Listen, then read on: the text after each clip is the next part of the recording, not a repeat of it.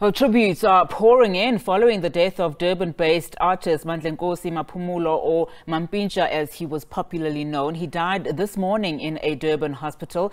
Earlier this week, in a statement, a record label, Afrotainment, confirmed that he had suffered a stroke a week ago, shortly after returning from a performance with Big Nuz. West Ink says the family has asked for privacy during this difficult time.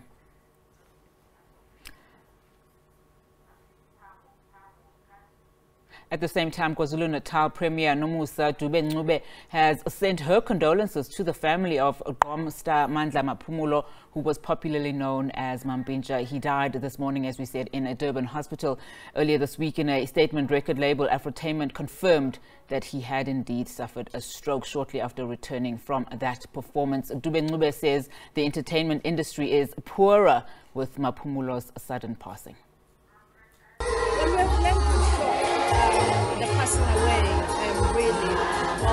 star. Uh, here in KwaZulu-Natal and in the entertainment and, and, and, industry.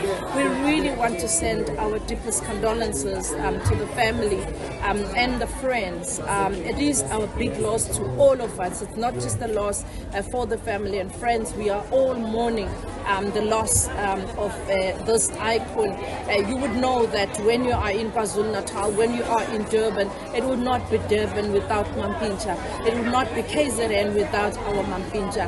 Really, we are saying may his soul um, rest in peace and knowing as well that he had given us um, his all.